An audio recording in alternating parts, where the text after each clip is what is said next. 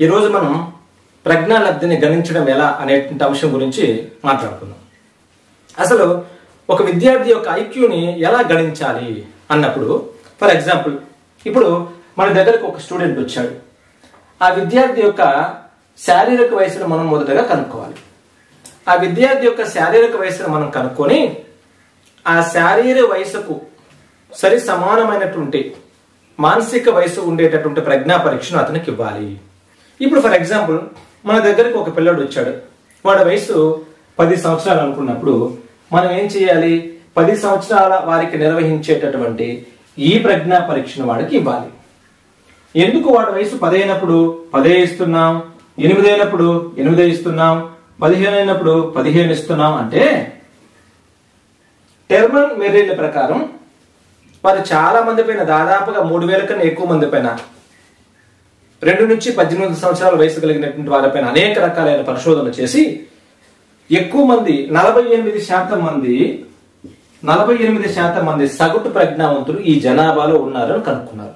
కాబట్టి ఎవరినైనా మనం శారీరక వయసు కనుక్కుని నిజ వయసును కనుక్కుని ఆ వయసుకు సరి సమానంగా ఉండేటటువంటి మానసిక వయసుకు సంబంధించిన పరీక్షను ఇచ్చినప్పుడు దాన్ని పూర్తి చేస్తే ఆ తర్వాతది అంగా పూర్తి చేస్తే ఆ తర్వాతది ఇస్తాం. ఎన్నో కొన్ని అంశాలు పూర్తి చేసినా తర్వాత ఇస్తాం ఆ తర్వాత ఎక్కడైతే పూర్తి చేయకుండా ఆపేస్తాడో ప్రజ్ఞా పరీక్షను ఆపేసి అతని ప్రజ్ఞా లబ్ధిని మనం లెక్క కడతాం. ఒక విద్యార్థి యొక్క ఒక విద్యార్థి యొక్క శారీరక వయస్సు పది సంవత్సరాలు. ఈ విద్యార్థి పది సంవత్సరాలకు సంబంధించినటువంటి ప్రజ్ఞా పరీక్షలో మూడు అంశాలను పదకొండు సంవత్సరాలకు సంబంధించినటువంటి ప్రజ్ఞా పరీక్షలో మూడు అంశాలను చేశాడు. అయితే ఈ విద్యార్థి యొక్క ఐక్యూ ప్రజ్ఞా లబ్ధి ఎంత అని అడిగారు ఇప్పుడు మనం దీన్ని ఒకసారి మనం పరిశీలించుదాం ముందు మనకి ఏం కావాలా? శారీరక వయసు కావాలి. ఈ విద్యార్థి యొక్క శారీరక వయసు ఎంత అన్నాము? పది సంవత్సరాలు అన్నాం. పది సంవత్సరాలు అన్నాం. శారీరక వయసునైనా సరే మానసిక వయసునైనా సరే దేనినైనా మనం నెలల్లోకి మార్చి లెక్కను సాల్వ్ చేసే ప్రయత్నం చేస్తే యాక్యురస్గా మనకు ఆన్సర్ అనేది పక్కాగా వస్తుంది. కాబట్టి మనం నెలల్లోకి మార్చుకునే ప్రయత్నం చేద్దాం. పది సంవత్సరాలు ఇంటూ పన్నెండు నెలలు కదా అంటే నూట ఇరవై నెలలు వచ్చింది. మానసిక వయసులోకి వద్దాం. ఈ విద్యార్థి యొక్క మానసిక వయసు కనుక్కోవాలి ఇప్పుడు. ఈ విద్యార్థి యొక్క మానసిక వయసు మనం కనుక్కునేటప్పుడు ఏం చేయాలి? పది సంవత్సరాల ప్రజ్ఞా పరీక్షలో మూడు అంశాలే చేశాడు అని చెప్పారు.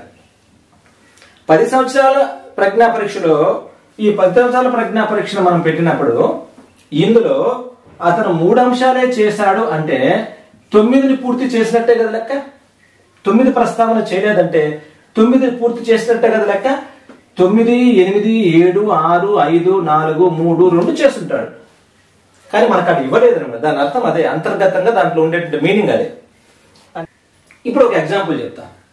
ఒక విద్యార్థి యొక్క శారీరక వయసు పది సంవత్సరాలు. ఒక విద్యార్థి యొక్క శారీరక వయసు పది సంవత్సరాలు.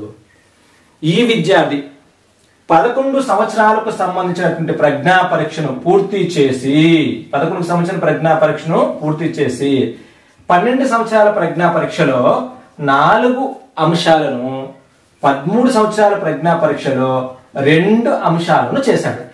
అయితే ఈ విద్యార్థి యొక్క ఐక్యూ ఎంత అనేటటువంటి ప్రశ్న మనకు వచ్చింది అనుకోండి మన ప్రొసీజర్ మనకు తెలుసు. ముందు ఏం చేస్తాం? శారీరక వయసు కనుక్కుంటాం. శారీరక వయసు అంటే పది సంవత్సరాలు కదా పది ఇంటూ పన్నెండు ఈజ్ నూట ఇరవై నెలలు. ఏది? ఇక్కడ సిఏ ఇప్పుడు మనం ఏం చేస్తాం? మానసిక వయసును లెక్కేద్దాం.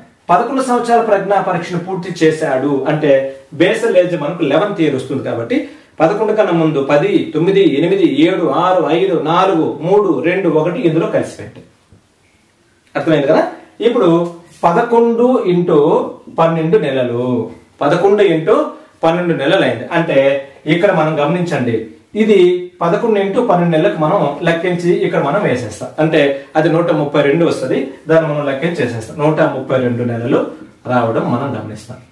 ఆ తర్వాత ఏం చేస్తాడు ఇక్కడ? పన్నెండు స- ప్రజ్ఞా పరీక్ష పన్నెండవ సంవత్సరానికి చెందిన ప్రజ్ఞా పరీక్షలో కేవలం నాలుగు అంశాలను పదమూడవ సంవత్సరానికి చెందిన ప్రజ్ఞా పరీక్షలో రెండు అంశాలను మాత్రం చేశాడు. విడి అంశానికి రెండు నెలల చొప్పున మనం వెచ్చిస్తాం కాబట్టి నాలుగు రెండ్లు ఎనిమిది నెలలు రెండు రెండ్లు నాలుగు నెలలు వస్తుంది. అంటే ఇక్కడ ఎనిమిది ఒక రెండు పది ఒక నాలుగు పద్నాలుగు ఒకటేమో నాలుగు అంటే నూట నలభై నాలుగు ఏమవుతుంది మానసిక వయసు మెంటల్ ఏజ్ అవుతుంది. నూట నలభై నాలుగు మెంటల్ ఏజ్ అవుతుంది. ఇప్పుడు దీన్ని మనం సూత్రంలో ఒకసారి మనం ప్రత్యక్షేపిస్తాం. సూత్రంలో ప్రత్యక్షేపిస్తే సూత్రం ఏమి? ఎంఏ బై సిఏ ఇంటూ వంద. ఎంఏ ఎంత? నూట నలభై నాలుగు. సిఏ ఎంత? నూట ఇరవై ఇంటూ వంద. చూడండి ఒకసారి. నూట నలభై నాలుగు నూట నాలుగు ఇంటూ వంద. అంటే చూడండి దీంతో మనం కానీ చేసాం అనుకోండి సున్నా సున్నా తీసేస్తాం పన్నెండు ఒకటిలో చేస్తాం పన్నెండు పన్నెండులో చేస్తాం. పన్నెండు ఒకట్లు పన్నెండు పన్నెండు దాన్ని క్యాల్కులేట్ చేసుకుంటాం ఇప్పుడు మనకు పన్నెండు ఒకట్లు పన్నెండు పనులు నూట నలభై నాలుగు తీసేస్తే నూట పన్నెండు పన్నెండు ఇంటూ పది నూట ఇరవై నెలలు వస్తుంది. నూట ఇరవై నెలలు వస్తుంది. ఇప్పుడు దీనిని ఏ వర్గీకరణకు చెందినవాడు అంటే నూట ఇరవై నుంచి నూట ముప్పై తొమ్మిది వరకు గమనించండి నూట ఇరవై నుంచి నూట ముప్పై తొమ్మిది వరకు అత్యధిక ప్రజ్ఞావంతుడి కిందకు వస్తాడు ప్రజ్ఞా విభాజనం డివిజన్ ఆఫ్ ఇంటెలిజెన్స్ అనేటువంటి టాపిక్లోకి మనం రాబోతున్నాం ఇప్పుడు. ఈ విభాజనాన్ని టెర్మన్ మెరిల్ అనేటటువంటి శాస్త్రవేత్తలు కలిసి రూపొందించడం గాని మనం చెప్పొచ్చు. ఇక్కడ మీరు కానీ గమనించినట్లయితే మనము ఎనిమిది రకాలైనటువంటి ప్రజ్ఞా లబ్ధి వర్గీకరణలు మనం గమనించవచ్చు. ఇది ఎస్జిటి కన్నా స్కూల్ అసిస్టెంట్ కన్నా కామన్గా ఎనిమిది ఎనిమిది వర్గీకరణలుగా మనం గమనించవచ్చు. ఒకసారి దీన్ని వివరించుకునేటువంటి ప్రయత్నం మనం చేద్దాం. ఇక్కడ మొదటిగా ఇరవై తొమ్మిది కంటే తక్కువ ప్రజ్ఞ కలిగినటువంటి వాళ్ళను సురక్షణ స్థాయి బుద్ధిమాంద్యత. వీళ్ళు అతి తీవ్రమైనటువంటి తీవ్ర బుద్ధిమాంద్యతను కలిగినటువంటి వాళ్ళు. వీళ్ళు సాధారణంగా తమ పనులను కూడా తాము చేసుకోలేరు. ప్రత్యేక అవసరాలు కలిగిన పిల్లల విద్యలో వీళ్ళ గురించి మనం చాలా కూలంకుషంగా మాట్లాడదాం. వీరి పరిస్థితి ఎలా ఉంటుందంటే లేయలేరు కనీసం తల్లిదండ్రులు కూడా గుర్తించలేరు. ఎప్పుడు నోట్లో నుంచి ఒక రకమైన ద్రవం సొంగు మనం మన భాషలో చెప్పంటే సొంగు అంటాం ద్రవం కారుతా ఉంటుంది.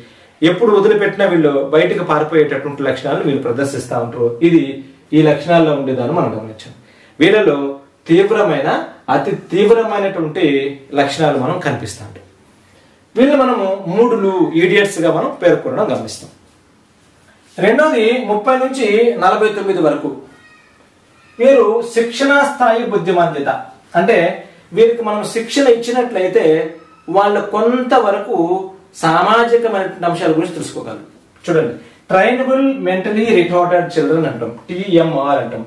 వీళ్ళు మిత బుద్ధి మాంద్యత కలిగినటువంటి స్వభావాన్ని కలిగి ఉంటారు. వీళ్ళకి శిక్షణ ఇస్తే ఏ పనైనా చిన్న చిన్న ఆలోచనాత్మకమైన కృత్యాలు చేయగలరు. ఇది ముప్పై నుంచి నలభై తొమ్మిది వరకు. ఈ రెండు క్లారిఫికేషన్లు ఈ రెండు క్లారిఫికేషన్లు కొంతవరకు డిఫరెంట్గా ఉంటుంది.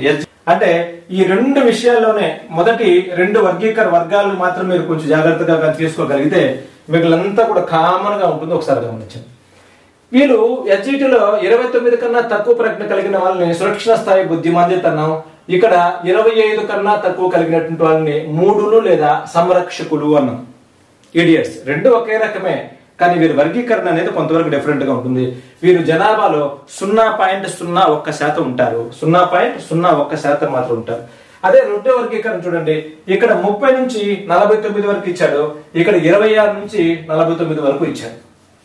దీన్ని రక్షణను స్వీకరించే బుద్ధిమాంజులు అని చెప్తాం. ఈ రెండు మాత్రం కొంతవరకు కంపేర్ చేసుకోండి. వీరి జనాభాలో సున్నా పాయింట్ ఇరవై మూడు శాతం ఉంటారు. ఇప్పుడు కేవలం ఎస్జిటి వాళ్ళు ఒకసారి గమనించండి. ఇరవై తొమ్మిది కన్నా తక్కువ ముప్పై నలభై తొమ్మిది యాభై అరవై తొమ్మిది డెబ్బై ఎనభై తొమ్మిది తొంభై నూట తొమ్మిది. చూడండి ప్రతి దాంట్లో మీరు కానీ గమనించారంటే ఒక ఇరవై మాత్రం ముప్పై నలభై తొమ్మిది. చూడండి ఎంత గ్యాప్ ఉందో. ఇరవై పెరిగింది ఇక్కడ. యాభై అరవై తొమ్మిది. అంటే ఇరవై పెరిగింది. డెబ్బై ఎనభై తొమ్మిది. ఇక్కడ చూడండి తొంభై నూట తొమ్మిది. ఇక్కడ మాత్రం ఇది మాత్రం మనం కానీ గమనించామంటే ఇక్కడ నూట పది నూట పంతొమ్మిది అంటే పది మాత్రమే పెరుగుతుంది. పదిలో నూట పదిలో పది మాత్రమే పెరిగింది. ఆ తర్వాత నూట ఇరవై నూట ముప్పై తొమ్మిది నూట నలభై ఆరు కన్నా ఎక్కువ. దీన్ని మనం మొదటి అక్షరాలనే గుర్తుపెట్టుకోండి. లేకపోతే దీన్ని అర్థం చేసుకోవడానికి మనం ప్రయత్నం చేయాలి. డెబ్బై నుంచి ఎనభై తొమ్మిది వరకు తెలివి తక్కువ కలిగినటువంటి విద్యార్థులు సాధారణంగా మనం కానీ చూస్తే వీరు చేతి పనుల వైపుకి ఎక్కువ ప్రాధాన్యత గమనిస్తారు. ఇదే సేమ్ డెబ్బై ఎనభై తొమ్మిది హెడ్స్ డల్లర్స్ స్లో లెర్నర్స్గా మనం పేర్కొంటాం. వీళ్ళు అతి నిదానమైనటువంటి అభ్యసన స్థాయిలను చూపిస్తా ఉంటారు. మనం గారు గమనించినట్లయితే జనాభాలో వీరు పదహారు శాతాన్ని కలిగి ఉంటారు. అది తొంభై నుంచి నూట తొమ్మిది వరకు సగటు ప్రజ్ఞావంతులు ఇది వీళ్ళు జనాభాలో చూడండి వీరు నలభై ఎనిమిది శాతం ఉంటారమ్మా. జనాభాలో నలభై ఎనిమిది శాతం ఉంటారు వీళ్ళు. వీళ్ళని మనము మనం కానీ గమనించినట్లయితే ఎన్నో వర్గీకరణ? ఒకటి రెండు మూడు నాలుగు ఐదో వర్గీకరణ. మనం గుర్తుపెట్టుకోవడం కోసం నేను చెప్తున్నా ఈ వర్గీకరణ.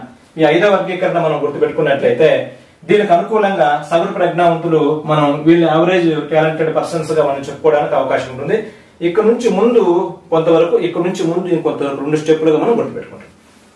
సగటు ఉన్నత అత్యున్నత ప్రతిభావంతులు. ఏమంతా ఇక్కడ? Average superior very superior genius same ఇక్కడ నుంచి ఎటువంటి మార్పులు కానీ చూడండి వర్గీకరణలో కానీ ఎందులో కానీ మార్పులు లేవు.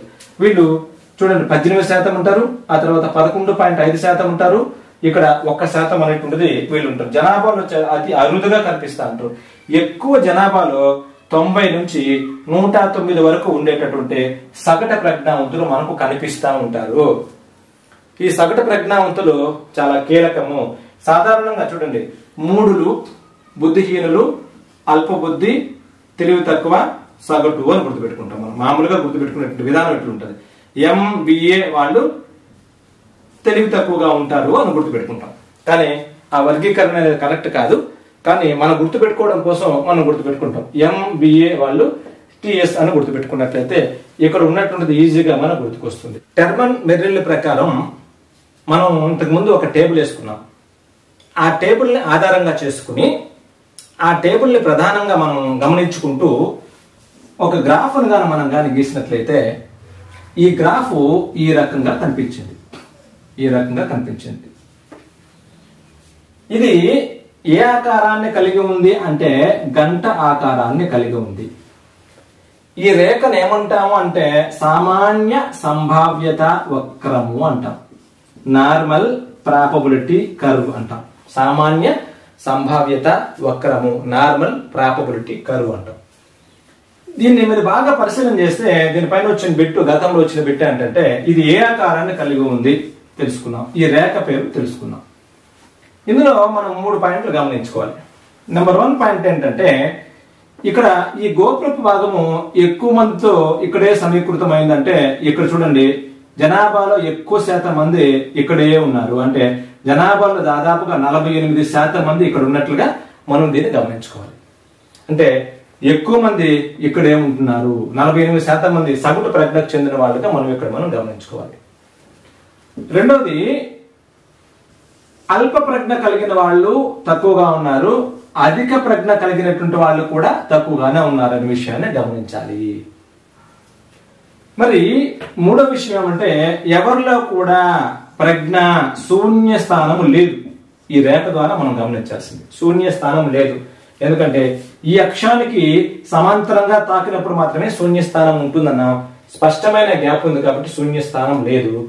ఈ మూ- ఈ మూడు విషయాలపైన మనకు ఎగ్జామినేషన్లో మనకు వచ్చే అవకాశం ఉంది కాబట్టి దీన్ని కొంచెం జాగ్రత్తగా గుర్తుపెట్టుకోండి. శారీరక వయస్సు మానసిక వయస్సు అనే అంశాన్ని కానీ చూస్తే ఒక వ్యక్తి యొక్క శారీరక వయస్సు మానసిక వయస్సుల మధ్య ఉండేటటువంటి సంబంధం గురించి మనం మాట్లాడుకోవాలి వ్యక్తులలో వ్యక్తి పెరిగే కొద్దీ శారీరక వయస్సు పెరిగే కొద్దీ ఆ వ్యక్తిలో మానసిక వయస్సు పెరుగుతూ ఉంటుంది. అంటే ఇది ఎలా ఉంటుంది అంటే అనులోమానుపాతము అనులోమానుపాతాన్ని ప్రదర్శిస్తూ ఉంది అనే విషయాన్ని గమనించాలి.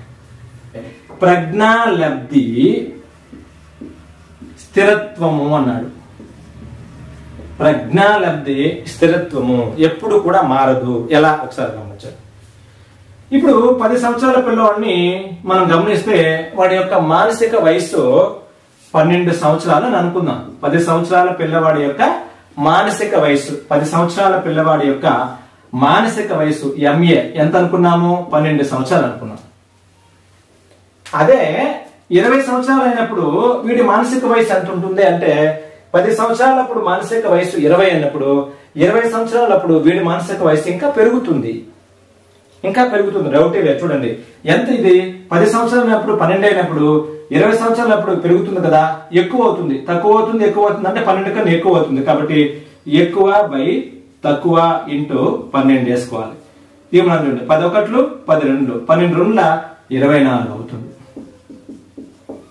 అంటే రమారమిగా మనం కానీ గమనించినట్లయితే ఇరవై సంవత్సరాలప్పుడు వాడి యొక్క మానసిక వయసు ఇరవై నాలుగు సంవత్సరాలు అయిండొచ్చు అదే ముప్పై సంవత్సరాలు అయినప్పుడు గమనించండి.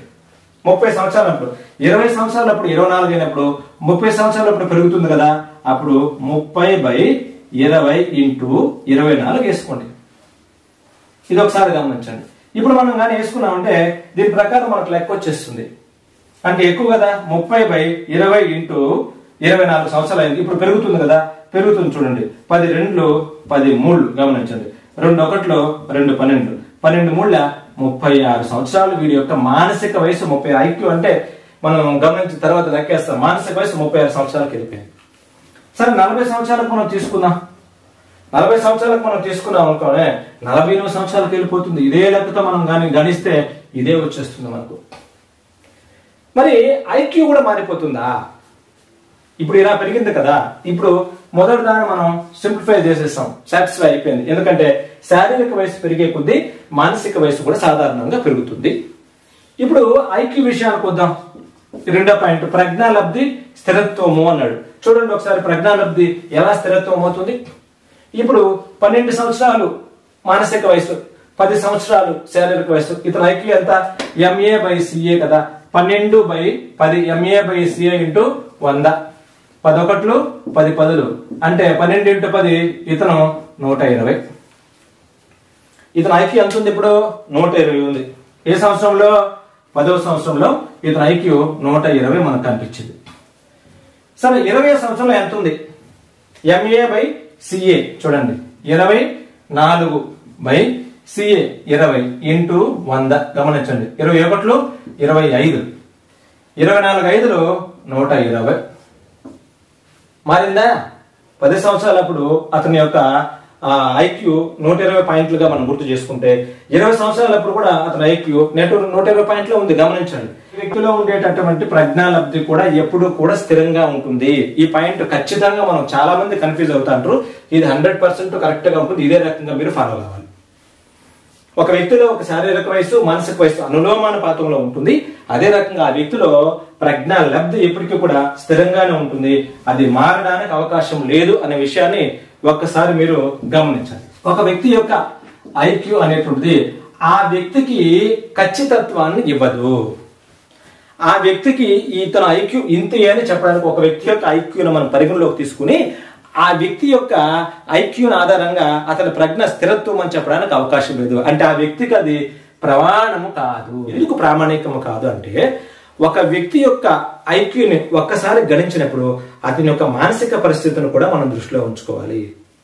పరీక్ష పెట్టడానికి మనమైతే సంసిద్ధంగా ఉన్నాం కానీ ఆ పరీక్ష రాయడానికి అతను ఎంత సంసిద్ధుడుగా ఉన్నాడు అనే విషయాన్ని మనం గమనించుకోవాలి. ఇది ఏ వ్యక్తిలో కూడా ఏ వ్యక్తిలో కూడా ఐక్యూ అనేటువంటిది శూన్య స్థానంలో ఉండదు. ఎందుకంటే జీరో అనేటువంటిది ఎవరిలో కూడా ఉండదు. దాన్ని బేస్ చేసుకొని మాత్రమే మనం గమనించాలి. కాబట్టి ఇది కూడా చాలా ముఖ్యమైన పాయింట్. దాని మీరు గమనించాలి.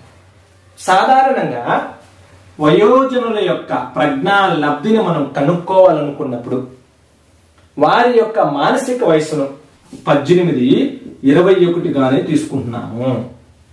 ఇది ఎంతవరకు సమంజసమో అనేటువంటి దానిపైన పరిశోధనలు జరిగినా కూడా దాన్ని మనం ఖచ్చితంగా ఇది అని చెప్పడానికి అవకాశం లేకపోయింది. ఒక వ్యక్తి యొక్క ఒక వ్యక్తి యొక్క సాంఘిక సాంఘిక ప్రజ్ఞను కొలవలేం కదా. గారెట్ అనేటటువంటి శాస్త్రవేత్త ప్రకారం ఒక వ్యక్తిలో పరిసరాల ప్రభావితం బాగా చేసుకున్నప్పుడు ఆ వ్యక్తిలో ఉండేటటువంటి ప్రజ్ఞ ఐదు నుంచి పది పాయింట్ల వరకు మారడానికి అవకాశం ఉంది. అంటే ఇది క్రమంగా పెరగడానికి అవకాశం ఉంది అనే విషయాన్ని మనం గమనించుకోవాలి. చిన్నతనంలో చిన్నతనంలో అల్ప ప్రజ్ఞను చూపించిన కొంతమంది వయోజన స్థాయికి వచ్చేసరికి అధిక ప్రజ్ఞను చూపించారు అనేటువంటిది సత్యము. అబ్రహాం లింకన్ మనం తీసుకున్నా న్యూటాన్ని మనం తీసుకున్నా వీళ్ళంతా ప్రపంచ ప్రఖ్యాతగాంచిన శాస్త్రవేత్తలు ఐన్స్టీన్ని మనం తీసుకున్నా వీళ్ళందరూ కూడా తీసుకోండి. మనం అబ్రహాం లింకన్ తీసుకున్నా న్యూటాన్ తీసుకున్నా ఐన్స్టీన్ తీసుకున్నా వీళ్ళందరూ కూడా చిన్నతనంలో కూడా ఎంతో కొంత బుద్ధిమాంద్యతను ప్రదర్శించినటువంటి వాళ్ళే. ఇలా బుద్ధిమాంద్యతను ప్రదర్శించినటువంటి వీళ్ళు వయసుతో పాటు క్రమంగా అభివృద్ధిని చేసుకుంటూ అద్భుతమైనటువంటి ప్రపంచానికి ఉపయోగపడేటటువంటి అద్భుతమైనటువంటి విషయాలు మనకు చెప్పారు. వీళ్ళు ప్రతిభావంతుల జాబితాలో జాయిన్ అయిపోయారు. మరి ఇది దీనికి వ్యతిరేకమే కదా? ఎందుకంటే ఇది పుట్టుకతో ఇది ఏర్పాటు కావడం జరుగుతుంది. ఇది స్థిరం అనుకున్నాం.